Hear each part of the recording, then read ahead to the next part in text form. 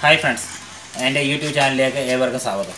ഞാൻ ഇന്ന് നിങ്ങളെ ഉണ്ടാക്കാൻ പഠിപ്പിക്കുന്നത് ഇത് എന്റെ ഫ്ലെക്സ് ബോർഡ് വെച്ചുള്ള അക്വേറിയ ചെറിയ ഒരു ഗപ്പി വളർത്തുന്ന ടാങ്കാണ് ഫ്ലെക്സ് ബോർഡ് വെച്ചാണ് റോഡിലെ പോസ്റ്റുകളിൽ കാണുന്ന ഫ്ലെക്സ് ബോർഡാണ് അത് വെച്ചുണ്ടാക്കുന്ന അത് വെച്ചുണ്ടാക്കുന്ന ഗപ്പിയെ വളർത്തുക ഗപ്പി മാത്രമല്ല ഷോട്ടയിൽ ഗോൾഡ് ഫിഷ് അങ്ങനെയുള്ളതിനെ ഉണ്ടാ വളർത്തുന്നതിന് വേണ്ടിയുള്ള നമുക്ക് ചിലവ് കുറഞ്ഞ മറ്റ് ചില ഒരു ചിലവും ഇല്ലാതെ നമുക്ക് ഫ്രീ ആയിട്ട് ഉണ്ടാക്കാൻ പറ്റിയ ഒരു ഫ്ലെക്സ് ടാങ്കിനെ കുറിച്ചാണ് ഞാൻ ഇപ്പോൾ എങ്ങനെ ഉണ്ടാക്കും എന്നുള്ളതാണ് ഞാൻ കാണിച്ചു തരുന്നത്. ഇതാണ് എന്റെ ഉണ്ടാക്കി. ഇതിന് ഇടയ്ക്കുള്ള ഒരു ഫ്ലെക്സ് ടാങ്ക് ഇപ്പോൾ ഒരെണ്ണോടെ വെക്കാനുള്ളത്. അതാണ് ഉണ്ടാക്കുന്നത് കാണിച്ചു തരാൻ പോകുന്നത്.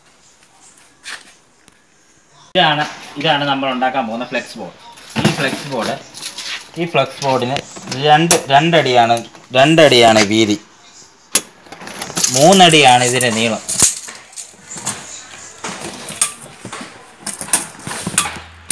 മൂന്നടിയാണ് ഇതിന്റെ നീളം.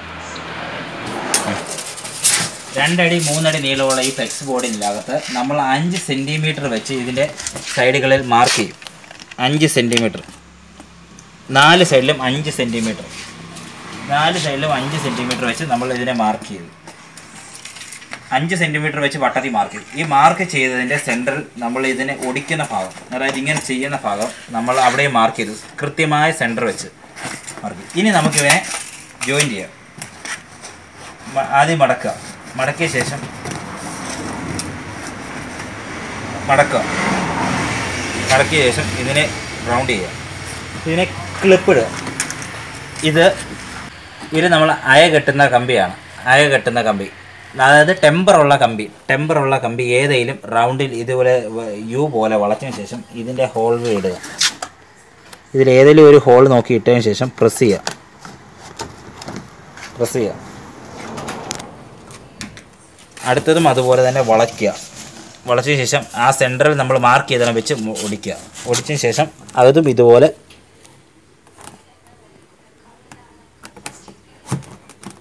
ഇടുക.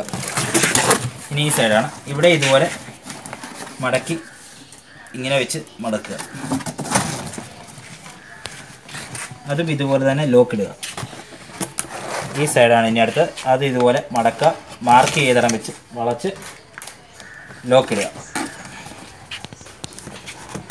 ഞാൻ ലോക്ക് ചെയ്യാം നമ്മൾ നമ്മളിട്ട ക്ലിപ്പുകൾ ഒന്നുപോലും ഇതിനകത്ത് വരത്തില്ല. ഇതിന്റെ അകത്തെ ഈ ഗ്യാപ്പുകളിലാണ് നമ്മൾ പ്രസ് ചെയ്തിട്ട് ഔട്ട് സൈഡിലായിട്ട് ഇട്ട് ഇതിങ്ങനെ ഇട്ടതിന് കാരണം വെള്ളം നനഞ്ഞ് ഈ ക്ലിപ്പ് തുരുമ്പിക്കാതിരിക്കാൻ വേണ്ടിയാണ് നമ്മൾ അങ്ങനെ ചെയ്തത്.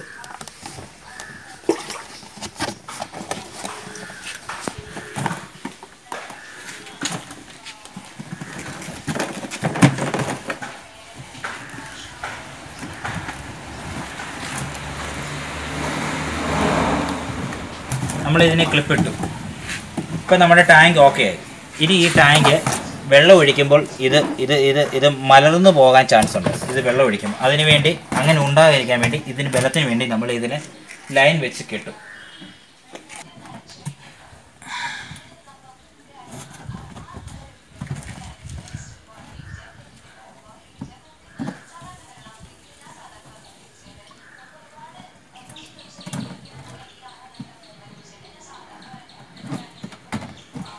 ലൈൻ വെച്ച് കെട്ടുകയാണ്.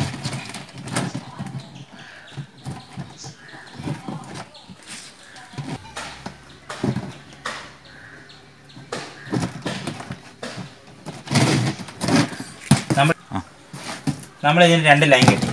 ഇതിനകത്ത് ഇനി വെള്ളം ഒഴിക്കുമ്പോൾ ഒരു കാരണവശാലും ഇത് തള്ളിപ്പോകില്ല. ഉണ്ടല്ലേ? മലന്ന്. മലന്ന് പോകത്തില്ല. അതിന് വേണ്ടിയാണ് നമ്മൾ ലൈൻ കെട്ടി. ഇനി ഈ സൈഡ് മലക്കാൻ ചാൻസ് ഉണ്ട്. നമുക്ക് അവിടെ കൂടെ ഒരു ലൈൻ കിട്ടും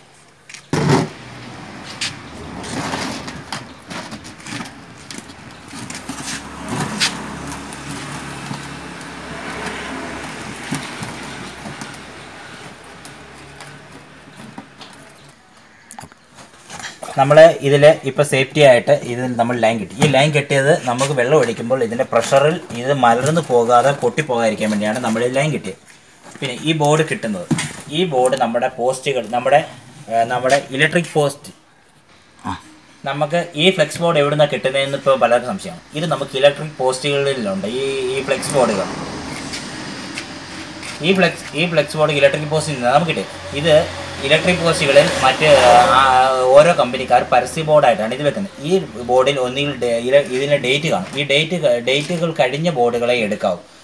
നമുക്ക് നമുക്ക് ഈ കിട്ടുന്ന ഫ്ലെക്സ് ബോർഡുകൾ ലൈമാമാർ ഇലക്ട്രിക് പോസ്റ്റുകളിൽ അവർ അനുവാദമില്ലാതെ ഫ്ലെക്സ് പരസ്യങ്ങൾ വെച്ചിരിക്കുന്നത് ഇളക്കി കളയുന്നതാണ്. നമുക്ക് അതിൽ നിന്നാണ് നമുക്ക് മുപ്പതോളം flex board flex flex board മുപ്പതോളം കിട്ടിയത്. നമുക്ക് ഈ ഫ്ലെക്സ് ബോർഡുകൾ വാങ്ങിക്കാൻ കിട്ടും. ആറ് ഇന്റു നാല് അതായത് കട്ടിലിന്റെ നീളം വീതി ആറ് ഇന്റു നാല്. ഇതിലാണ് കിട്ടുന്നത്. ഇത് നമുക്ക് വലിയ ഗ്ലാസ് കടകളിലാണ് കിട്ടുന്നത്. നൂറ്റമ്പത് ഇരുന്നൂറ് ആ റേറ്റിനകത്താണ് ഇതിന് വില വില മേമപ്പോട്ട് താഴോട്ടും വരിക കൂടിയും കുറഞ്ഞുകൊണ്ടിരിക്കും. അങ്ങനെയാണ് നമുക്കിത് വാങ്ങിയത് അപ്പോൾ എങ്ങനെയാണ് സിമ്പിളായിട്ട് യാതൊരു വിധ ആ, ചിലവുമില്ലാതെ നമുക്കൊരു ഇനി നമുക്കിത് ഈ ഫ്ലെക്സ് ബോർഡ് ഞാൻ ഉണ്ടാക്കിയ ഫ്ലെക്സ് ബോർഡാണ്. നമ്മളിപ്പോൾ ഇത് വെക്കുകയാണ്.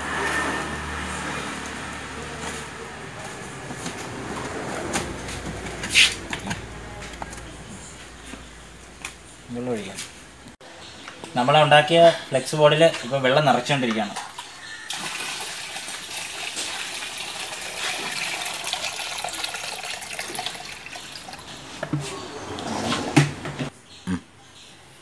നമ്മൾ ഉണ്ടാക്കിയ ഫ്ലെക്സ് ബോർഡിൽ നമ്മൾ വെള്ളം ഒഴിച്ചു ഇതിനകത്ത് നമ്മൾ മുകളിൽ നിന്ന് ഒരു നമ്മൾ ഇതിനകത്ത് ഒരു മൂന്നിഞ്ച് വെള്ളമേ നിറച്ചുള്ളൂ. രണ്ട് ഇഞ്ച് ഗ്യാപ്പ് ഉണ്ട് കണ്ടില്ലേ? കണ്ടില്ലേ നമ്മൾ ഇതിനകത്ത് നമ്മുടെ ആ നമുക്കറിയാവുന്ന ആ അളവ് നമുക്ക് മനസ്സിലാവുന്ന ആ അളവ് അനുസരിച്ച് വെള്ളം നിറയ്ക്കുക. ഇനി ഇതിന് ശേഷം ഇതിനകത്ത് മീൻ കുഞ്ഞുങ്ങൾ ഇടുക പായൽ ഇടുക എല്ലാം ചെയ്യുക ഗപ്പി ഇടുക മറ്റേ അല്ല ഏതാ ഷോർട്ടൈലെങ്കിൽ ഷോർട്ടൈൽ ഗോൾഡ് ഫിഷ് എങ്കിൽ ഗോൾഡ് ഫിഷ് അങ്ങനെയുള്ള ചെറിയ മീനുകളെ ഇട്ട് വളർത്താൻ പറ്റിയ ഏറ്റവും നമുക്ക് ചിലവ് കുറഞ്ഞ ഒരു മാർഗമാണ് ഈ ഫ്ലെക്സ് ബോർഡ് ഷീറ്റ് ആക്കുകയും.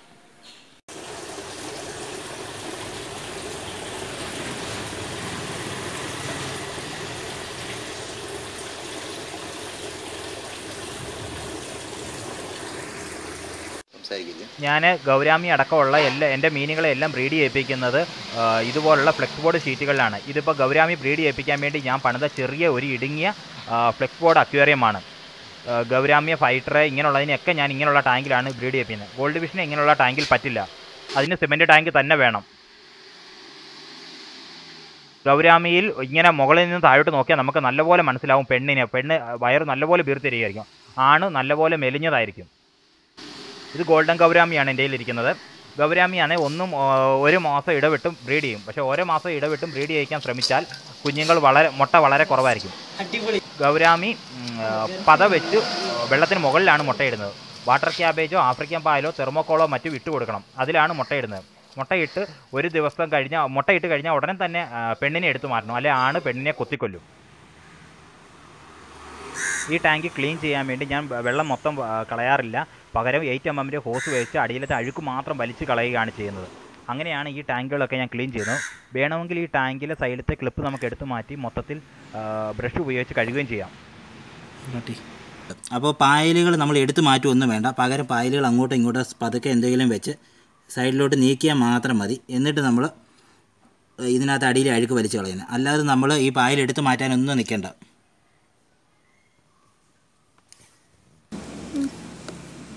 ഈ ടാങ്ക് നിറച്ച് അടുത്ത ടാങ്കിലാണ് ഈ അഴുക്ക് വലിക്കുന്നത്.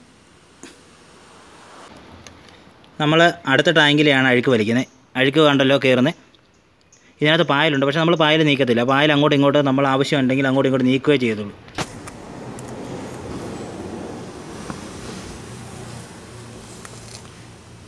ഇതിന്റെ അടി മൊത്തം കറുത്ത് കിടക്കുന്ന കണ്ട അഴുക്കാണ്. കണ്ട കണ്ട അഴുക്ക് കയറി പോകുന്ന കണ്ടല്ലോ.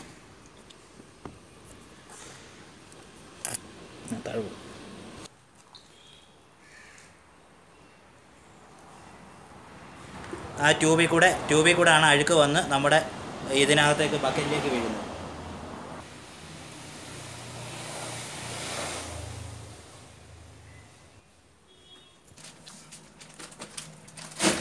ഇത് ഒടിച്ച് ഒടിച്ചെടുക്കും ഞാൻ ഇതിനകത്തുനിന്ന്.